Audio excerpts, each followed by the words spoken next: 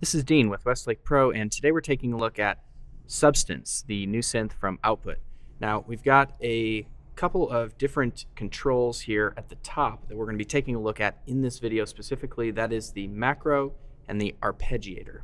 So let's take a look at the macro. So you can see that when we when we click on this macro tab, we get to adjust what the macros are that affect the main page. Now, if you want to learn more about the main page and hear some of the sounds from it, be sure to check out the other video that we've done on the Substance main page. Now, once we click on macro, we see we've got four slots to play with.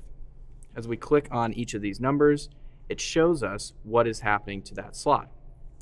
So for example, let's go ahead and take a look at this noise macro.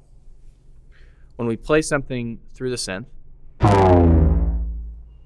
let's go ahead and load up just our, uh, our standard first sound here. When we play something through the synth, and we adjust the macro, you can hear the effect that it has.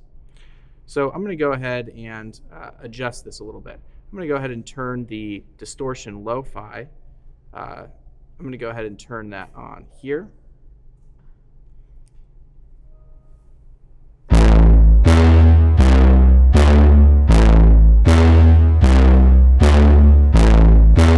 I do that, and I click uh, to turn it on, it shows me which macro uh, it is currently affecting.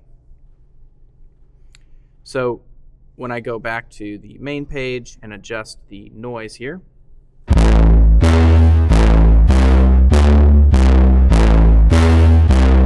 you can see that distortion lo-fi is now affecting that particular macro control. Now I can also adjust the range of this, which is really cool. If I want this to, you know, really have an effect on it, I can go ahead and adjust it here.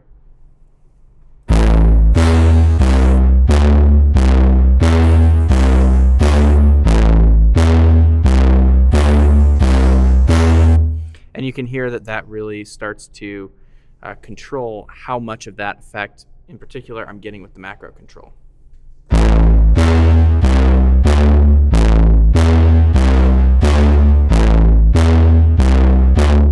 Now, the really cool thing about this is if you were to go around and, and want to adjust what's in the macro, you can go into the main, you can select which macro you're working with. Let's say we want to work with the uh, tone macro.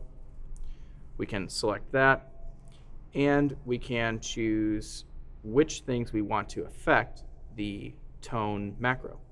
So let's go in here to, let's say we want the distortion tube. We click on that. It brings us right here. It flashes. It shows us which one we're working with. And now we can change the actual controls there.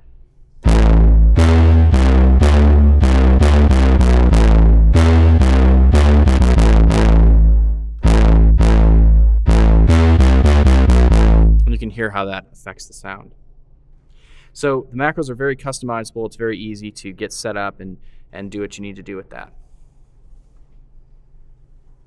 Let's go into the arpeggiator.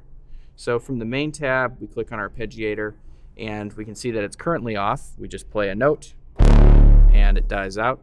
So if we want this to play a pattern or a rhythm, we click on the arpeggiator. And you can see that just playing one note down here on the keyboard brings up an entire pattern.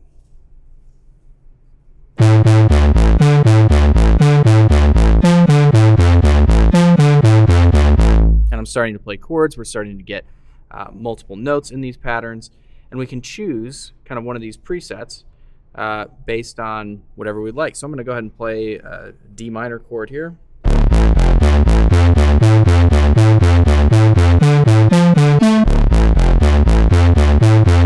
And we start to get these very cool arpeggiated patterns. So we can of course go in and adjust the actual pattern we're choosing. We don't have to just choose one of the presets. We can go in here and by clicking on pattern, uh, we can choose which rhythm we are actually using.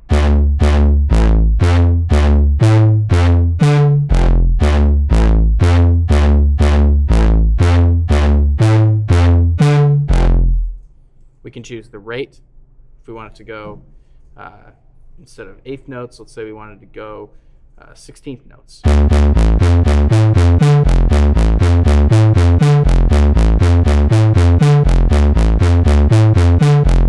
Also choose how much swing we'd like.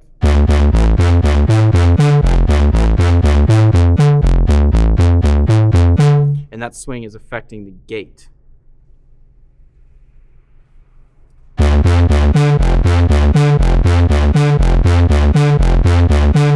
We can also completely randomize the stepper.